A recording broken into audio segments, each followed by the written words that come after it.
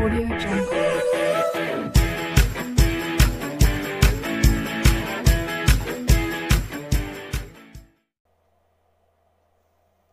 So now students today I am going to start class eighth maths अब ये student chapter आपका है data handling ठीक है?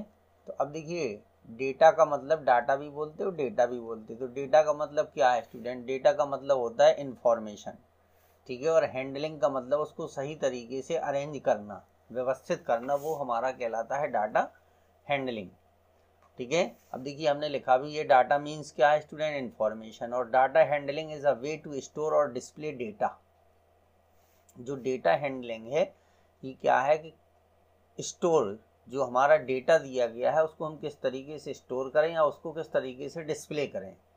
ठीक है, कि चीज़ें जल्दी समझ में आ जाएँ। फिर थर्ड में क्या देखिए data display is information shown through tables अब जो डेटा डिस्प्ले है, ठीक है तो इसमें इंफॉर्मेशन को हम या तो टेबल के द्वारा रिप्रेजेंट करते हैं या चार्ट के द्वारा या ग्राफ के द्वारा। तो डाटा हैंडलिंग में इनके बारे में अलग अलग हम पढ़ेंगे। ठीक है तो सबसे पहले हम पढ़ेंगे डाटा हैंडलिंग में टेबल के बारे में। ठीक है टेबल में कैसे उसको अरेंज किया जाता है। ठीक है, फिर इसके बाद एक इसमें टर्म आता है रॉ डेटा ठीक है रॉ डेटा का मतलब होता है जो अपने ओरिजिनल फॉर्म में हमें फाइंड होता है डेटा उसको हम बोलते हैं, ठीक है रॉ डेटा जैसे ये यहाँ पर एक एग्ज़ाम्पल हमने लिया है ट्वेंटी फैमिलीज़ के मेंबर के बारे में नंबर ऑफ़ मेंबर्स दिए गए ट्वेंटी फैमिलीज़ में, ठीक है. अब इनमें से हर फैमिली में जो मेंबर हैं, वो एक ऑब्जर्वेशन है. क्या स्टूडेंट वो एक ऑब्जर्वेशन है, ठीक है, उसको हम बोलते हैं ऑब्जर्वेशन देखिए ऑब्जर्वेशन क्या है? इसकी भी डेफिनेशन हमने लिख रखी है कि each numerical figure in a data is called an observation ठीक है? तो ये ये एग्ज़ाम्पल है तो जिसमें सारी चीज़ें हैं, देखिए। इसमें क्या है? फैमिली के मेंबर के बारे में इंफॉर्मेशन हमें मिल रही है, ठीक है? फिर इस इंफॉर्मेशन को हम कैसे रिप्रेजेंट करेंगे, ठीक है? तो अगर इसको हम टेबल के थ्रू रिप्रेजेंट करते हैं, ठीक है? तो ये हो जाएगा। फिर रॉ डेटा यही रॉ डेटा है। क्योंकि हमने ऑब्जर्वेशन से जो फाइंड किया, वो रॉ डेटा हो जाएगा। ठीक है? अगर इसका हम टेबुलेशन ऑफ़ डेटा करेंगे arranging data in a systematic form in the form of a table is called tabulation और प्रेजेंटेशन ऑफ़ द डेटा ठीक है? अब देखिए क्या है फ्रिक्वेंसी ऑफ़ एन ऑब्जर्वेशन अब फ्रिक्वेंसी क्या होती है स्टूडेंट्स ठीक है? जैसे मान लीजिए हमने एक यहाँ पर ये क्वेश्चन आपका लिखा है। ठीक है? अब अगर इसमें कोई चीज़, मान लीजिए जैसे यहाँ पे ट्वेंटी थ्री लिखा है, चलिए हम पहले वाले एग्ज़ाम्पल में बताते हैं फ्रिक्वेंसी का क्या मतलब है, देखिए। ये, चलिए एग्ज़ाम्पल दिया गया है। ये एग्ज़ाम्पल है तो देखिए इसमें फोर यानी कई फैमिली ऐसी हैं जिसमें फोर फोर मेंबर हैं, एक यहाँ है, एक यहाँ है, और ये दिए गए हैं। सब में फोर फोर मेंबर हैं। तो फोर मेंबर जितनी बार आएगा रिपीट होगा, वो उसकी फ्रिक्वेंसी होगी, ठीक है? वो उसकी क्या हो जाएगी? फ्रिक्वेंसी होगी। तो देखिए फ्रिक्वेंसी की डेफिनेशन क्या है? The number of times a particular observation occurs is called its frequency फिर इसके बाद रेंज होता है student difference between the highest and the lowest values of the observation in a data is called the range of the data ठीक है? जो highest और जो लोवेस्ट वैल्यूज़ है, उसका जो डिफरेंस है, वो स्टूडेंट्स कहलाता है रेंज ठीक है? तो इन्हीं चीज़ों को इसमें हमें फाइंड करना पड़ता है। अब देखिए, एक एग्ज़ाम्पल ये दिया गया given below are the marks out of hundred in mathematics obtained by twenty student ने जो है हंड्रेड में से ये डिफरेंट मार्क फाइंड किए। ठीक है? अब स्टूडेंट सबसे पहले देखिए, ये इसका सॉल्यूशन है, नीचे दिया गया है। तो सबसे पहले इन डेटास को हम जो है असेंडिंग या डिसेंडिंग ऑर्डर में लिखेंगे। तो इन्होंने असेंडिंग ऑर्डर में ये लिखा हुआ है, ठीक है? ये दिया गया है। तो लिखने से असेंडिंग ऑर्डर में क्या होगा? हमें आसानी हो जाएगी। अब देखिए, अगर हमें लोवेस्ट मार्क्स फाइंड करना है, पहला ऑप्शन क्या है? लोवेस्ट मार्क्स ऑप्टेंड तो सबसे कम मार्क्स कितने हैं स्टूडेंट ये फोर्टीन मार्क्स इसको मिले हैं। तो इसका आंसर क्या हो जाएगा? फोर्टीन आ जाएगा।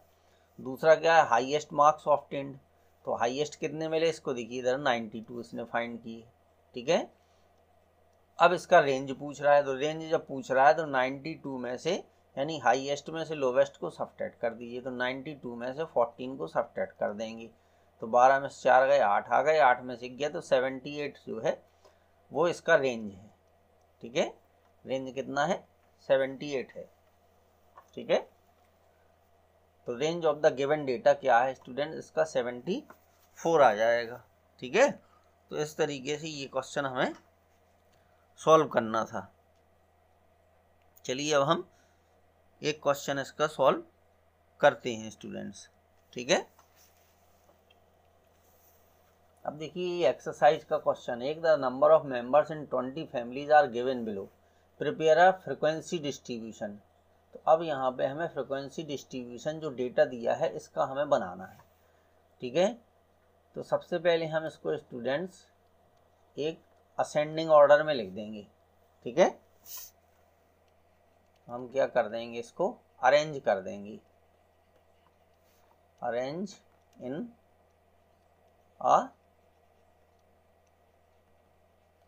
असेंडिंग ऑर्डर ठीक है? जितने भी नंबर दिए हैं तो देखिए सबसे पहले तीन है तो ये थ्री है। ठीक है? यहाँ पर थ्री है, एक यहाँ पर थ्री है। ठीक है? तो थ्री कितनी बार आया? एक, दो, तीन। ठीक है? चार बार आया। तो थ्री थ्री थ्री और थ्री हो गया। अच्छा अब इसके बाद देखिए फोर कितनी बार आया? तो यहाँ पे एक फोर लिखा है। ठीक है? फिर ये वाला फोर है। ठीक है? फिर देखते जाइए, फिर दो फोर यहाँ लिखे हैं तो इनको लिख देंगे। ठीक है? तो इस तरीके से ये फोर हमारे आ गए। अब फोर के बाद फाइव है। ठीक है? तो देखिए फाइव यहाँ पर, ये टू टाइम्स आया है, एक बार यहाँ आया। तो ये फाइव फाइव ये यहाँ तक हो गए फाइव अब इसके बाद देखिए, एक, दो, तीन। अब एक फाइव ये है, एक फाइव ये है। ठीक है, और दो फाइव ये हैं। फाइव फाइव फाइव फाइव तो फाइव कितनी बार आ गया? सेवन टाइम्स आया। देखिए, एक, दो, तीन दो, तीन, चार, पाँच छ सात। ठीक है? अब फाइव के बाद हमारा सिक्स देखिए कितनी बार आया है। ठीक है? तो सिक्स एक यहाँ पर है देखिए। एक ये सिक्स हो गया, फिर इसके बाद एक सिक्स ये हो गया, फिर इसके बाद एक सिक्स यहाँ हो गया। ठीक है? तो चार और चार आठ। ठीक है? आठ, सात, पंद्रह और तीन, अठारह। अब बचे सेवन हमारा तो देखिए सेवन सेवन एक सेवन यहाँ पर आया है, एक सेवन यहाँ पर आया है। तो दो सेवन आ गए स्टूडेंट्स ठीक है? अब यहाँ पर हमें एक ये फ्रिक्वेंसी डिस्ट्रीब्यूशन टेबल बनानी है स्टूडेंट्स ठीक है? ये हमारी यहाँ पर बनेगी फ्रिक्वेंसी डिस्ट्रीब्यूशन टेबल ये हमारे तो इसमें हमने दो कॉलम कर लिए। ठीक है? तो अब देखिए यहाँ पर क्या आ जाएगा, यहाँ पर आ जाएगा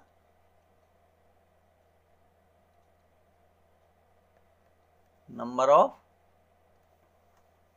ठीक है? ये है number of members in twenty families are given below, ठीक है? तो इस तरीके से हमें यहाँ पर लिख देंगे स्टूडेंट्स और फिर इसके बाद उसको सॉल्व कर देंगे। चलिए। तो अब देखिए, नंबर ऑफ़ मेंबर्स यहाँ पर ये आ जाएँगे। नंबर ऑफ़ मेंबर्स यहाँ पर आ जाएँगे और यहाँ पर फ्रिक्वेंसी आ जाएगी।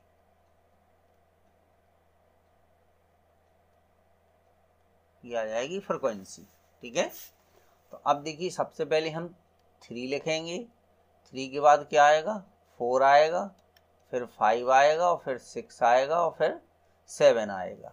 मतलब नंबर ऑफ़ मेंबर्स जो है थ्री कितने फैमिलीज़ में है? ठीक है? तो चार फैमिलीज़ में जो है नंबर ऑफ़ मेंबर्स जो है, वो थ्री है। वो कितनी फैमिलीज़ में है स्टूडेंट्स ठीक है? तो देखिए, यहाँ पर ये लिखी हुई है, चार फैमिलीज़ में है। तो इसकी फ्रिक्वेंसी कितना है? चार आ जाएगी। फिर फोर तो फोर जो है मेंबर जो है, वो भी फोर फैमिलीज़ में है। फिर फाइव मेंबर्स जो है, वो सेवन फैमिलीज़ में है। फिर सिक्स मेंबर कितने में है? थ्री फैमिलीज़ में और सेवन टू में है। ठीक है? क्योंकि जब इनका हम टोटल करेंगे फ्रिक्वेंसी का तो चूँकि फैमिलीज़ ट्वेंटी हैं तो इसको भी ट्वेंटी ही आना चाहिए। तो चार और चार, आठ, सात, पंद्रह, तीन, अठारह, दो, बीस। ठीक है? अगर ये जो है कम या ज़्यादा आता है तो इसका मतलब है कि एक आध डिजिट आप लिखने में भूल गए हैं तो उसको रीचेक कर लीजिए तो आ जाएगा। ठीक है? तो इस तरीके से ये हमें फ्रिक्वेंसी डिस्ट्रीब्यूशन टेबल बनानी है स्टूडेंट्स ये हमारी क्या बनी है? ये अभी हमने जो बनाई है, ये हमारी बनेगी frequency distribution